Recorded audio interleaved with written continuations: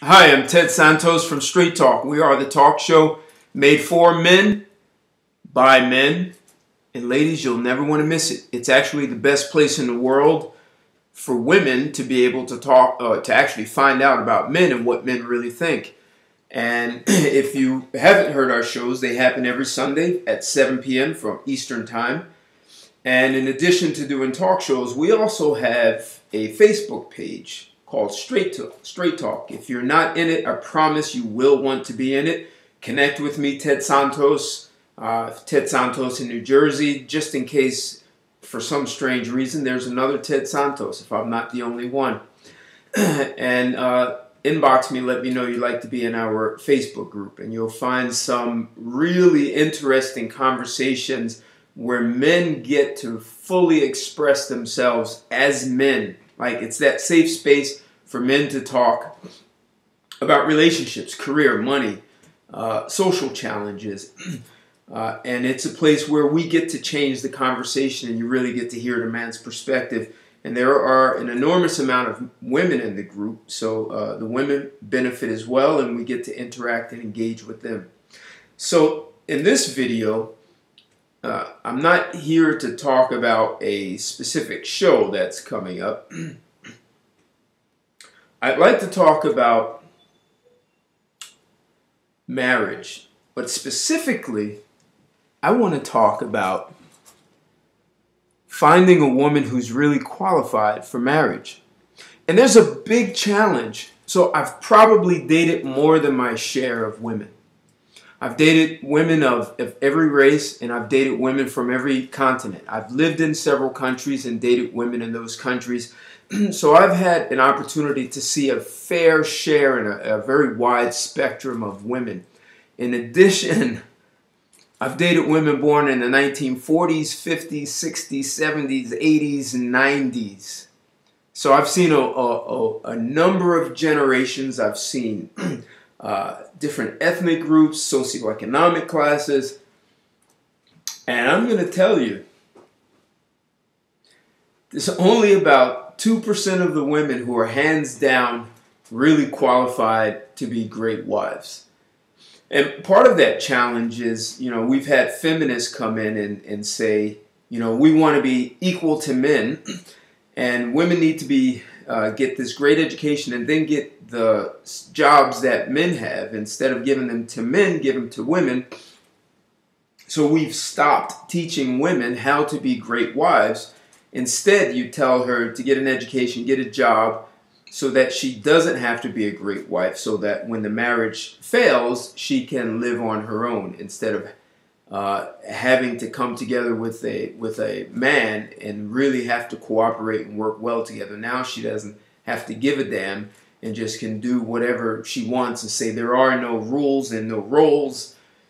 And when it fails, she can uh, take care of herself, and, and that's what we're getting. And you're you're seeing more and more women over 45 who have never been married and no children, and uh, that's that's a big part of you know it's the upbringing, it's the way we are raising children or little girls. So I want to talk about the two percent right now that makes them very qualified. Uh, if you're a guy and you've met one of these 2%, I'm going to tell you some ways that you can identify her. And I'm going to go down a list. Uh, and I, I, would say if you if you found one, keep her. Like when they in the old days, they used to say she's a keeper. so one of the ways that you'll know she's part of the top 2% is she grew up with both biological parents in the house. yeah, that's a big deal having both parents. Uh, a number of things happen. Having both parents in a house, that woman grew up understanding what cooperation means. She watched her parents have a, a, a great marriage, right? If her parents had a good marriage, they worked together to raise the children, they bought assets, houses, cars. Uh, if both parents worked, if the mother stayed home, it's really, it doesn't matter. She gets to see what it's like to have parents work together as a unit uh, and have affinity towards one another. She also gets to hear her father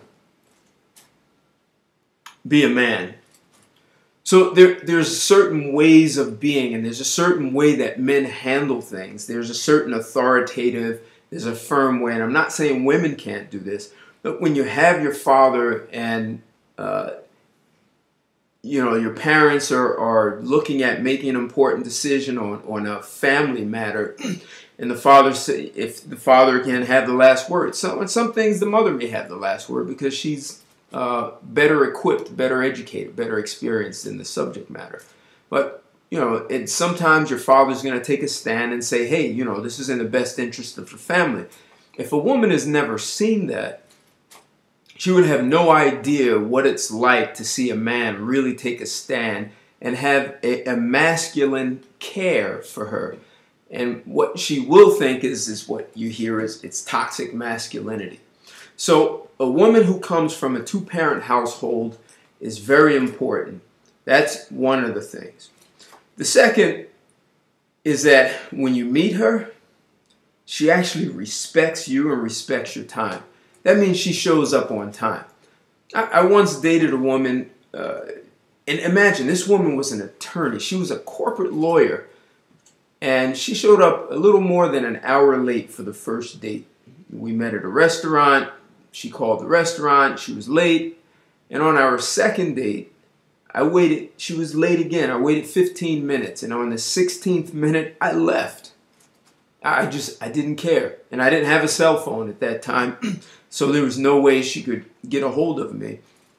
But the way I looked at it is, this woman had no regard for my time at all. So I just left. If she didn't care, I, surely I wouldn't care about her. So a woman who shows up on time is really important. Number three, number three kind of relates to number one. Uh, a woman who talks about cooperation.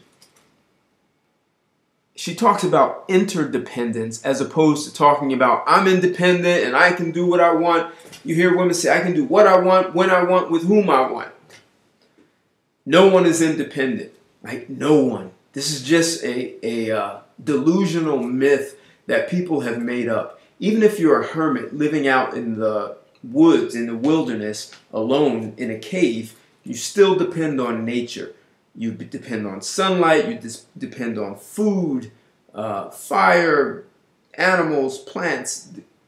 You depend on something.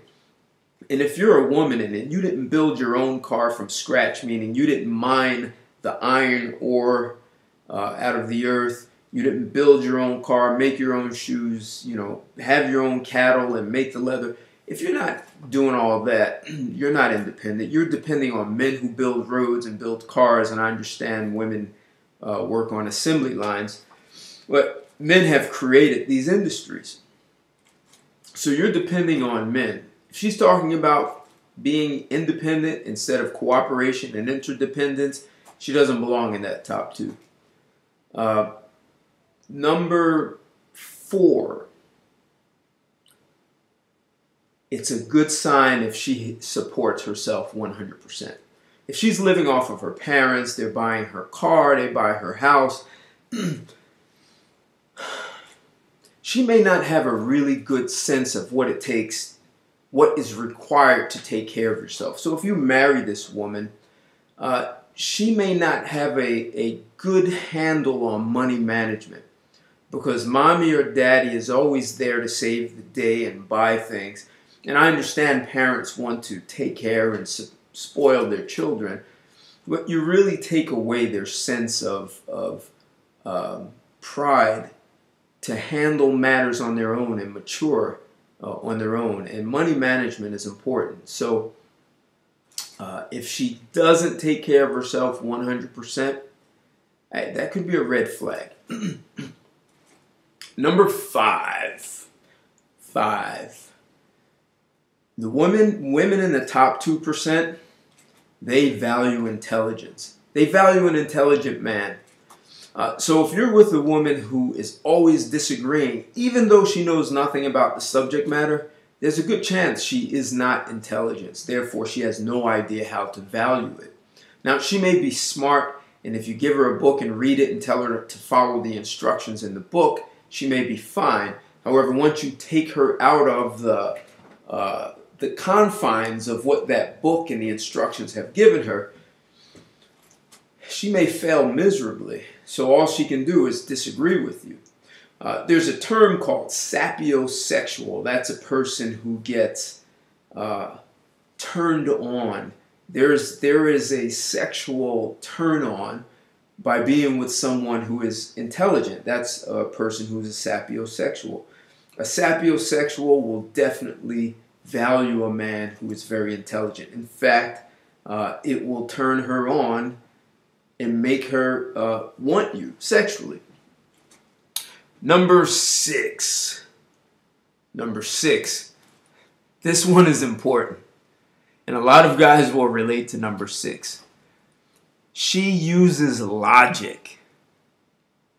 She's not disagreeing with you based on just some emotional rant because she doesn't like it. It doesn't sound right. It doesn't resonate. Uh, on one of my shows, we talked about co- cognitive dissonance, and that's when people have this belief system and some new information comes in that makes their belief not valid, uh, and they just don't know how to deal with that new information. So they make up some excuse, justification, to uh, continue to be right about what they believe. and that's illogical. Uh, so if she uses logic, wow, man, that's a woman you want to keep. Number seven. Seven is going to be important, guys. Because number seven is about sex and her having a healthy attitude towards sex. If she's having sex with you because she believes she's doing you a favor, she's clearly not in this top 2%. I mean, sex is mutual. You know, it's two, it's a man and woman. Like a screw and a bolt coming together. They, the screw and the bolt work together to fasten or tighten something. Sexual sexuality is about creating part of it is about creating life the other is creating pleasure and it requires two there's a intimate you call connection. There's an exchange, there's an exchange of energy. And if she thinks sex is a way that a man is dominating her and she feels like uh, she needs to be in control of sex or being she uses sex as a weapon or a carrot on a stick if you do this i'll do i'll have sex if you don't do it i won't have sex I mean, i've ended relationships with women who um, whew, just beautiful bodies. But Once they use sex as a weapon, that's you know there's that's the most intimate thing two people can do together. Once you use it as as a weapon or you taint it or or misuse it, uh, that hurts the intimacy you have in a relationship. So, a woman who has a healthy attitude towards sex is number seven. Um, number eight. This one is a good one. She actually enjoys being feminine. She enjoys dressing feminine, uh, feminine hair. You watch her movement. Uh, I went into a, there's a Walgreens near me, and there's a woman who I've, it's right around the corner, and I've been there often. And there's a woman who just started working there, and it was interesting. She's just so feminine. If you just watch her, she's she's a young girl, probably about 20. And just the way she stands and, and takes instructions from a manager, uh, the femininity is it's it just she exudes it, and it's very attractive to see a woman uh, who is so comfortable in her femininity. Uh, like it, it creates the space for your masculinity to come together uh, and and have a compatible relationship, feminine and the masculine. So she having watching her be comfortable with her femininity is really important. And let's see. What do I have here? So there's another thing, number nine. Number sorry, number eight. Number eight. Uh, number eight. is that she doesn't have a problem catering to you. You know, in the US, women are huge on the man is supposed to take me on entertaining dates. You're supposed to cater to me, open doors, uh, pay for things, uh, help me pay my bills. Even if she's if she has her what she calls her own money and job, she expects you to cater to her. And even in marriage, you know, women are talking about uh, the guy needs to do more chores. You know, there there's a, a, report that says the more chores the guy does, the more likely he's going to divorce. So, a woman who is not ashamed to cater to you, like, and part of what I'm saying is if she's demanding something and unwilling to to give back what she's demanding, she's definitely not in the top 2%. However, if she is willing to give you what she wants, if she's willing to cater to you and take care of you. Like, as men, we know all the things to do to make a woman feel special. What are the things that she does to, for you to make you as a man feel special? If she knows how to do that and she's not ashamed of that, she's a keeper. That's a keeper.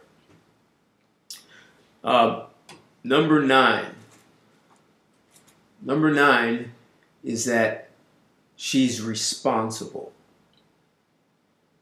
So if she does something that's inappropriate and you and you inform her, she will take responsibility for that. Hey, I apologize, I won't do it again. I didn't understand or that was an accident.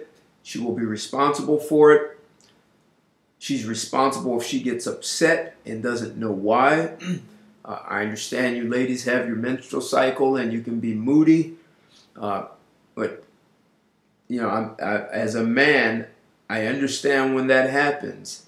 At the same time, there's some responsibility. There is 100% responsibility on your part, ladies, when that happens. So, when a woman is responsible for her own uh, uh, errors, uh, inappropriate behavior, uh, getting upset and not under, fully understanding what's going on. And she'll just continue to say, well, this is your fault, you know, that I didn't understand. That's not the woman you want to marry. You want a woman who can also be responsible for her own thinking. If her friends and family are, are telling her how to deal with you in your relationship, if she's going to them to figure out how to deal with things between the two of you, there's a good chance she's not even responsible for what she thinks. She's looking for other people to tell her what to think and do. That's not someone you want. You want someone who's really responsible. And number 10, this one is a big one. And I, definitely for marriage. Your wife, your woman, understands that her husband is the most important person in her life. You know, I read an article by uh, the former CEO of Burberry's. Uh, I forget her name. Uh, Apple hired her and made her the head of the retail division. I think she just uh, resigned this year. She worked several years doing that. And I read an article and she talked about her priorities in life. Her number one priority was to her husband and to be a great wife. Her number two priority was to be a mother to her two daughters. And her number three was to be a great CEO her career, her job. And she was not confused. She repeat that, repeated that sequence several times throughout the article. So when a woman understands that, or when people understand your significant other is the most important person in your life, not your children, not your job, that creates a great stable environment for your children to grow up in.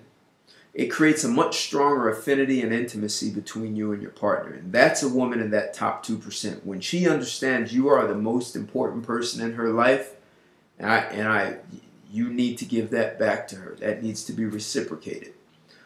Uh, but that is the kind of environment where you are really empowered because you think about it.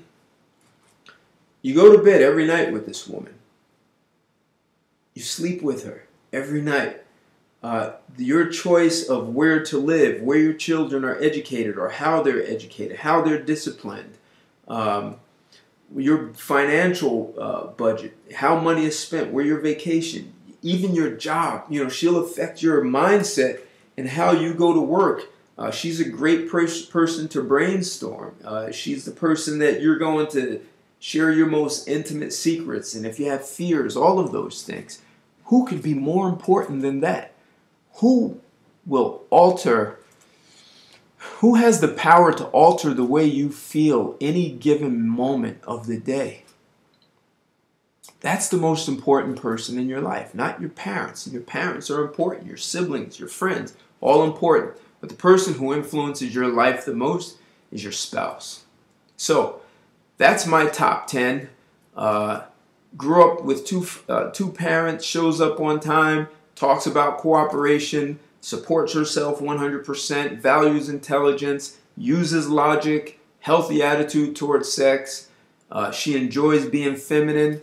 She actually cares and caters for you and not ashamed of it, responsible for her thinking, and sees you as the most important person in your life. So, uh, give me some likes on this video, subscribe to me. I'd like to hear your thoughts, your comments about what I just laid out. And if you have something uh, that I missed on this top 10 list, I'd like to hear yours. Uh, thank you, and I'll talk to you soon. Bye.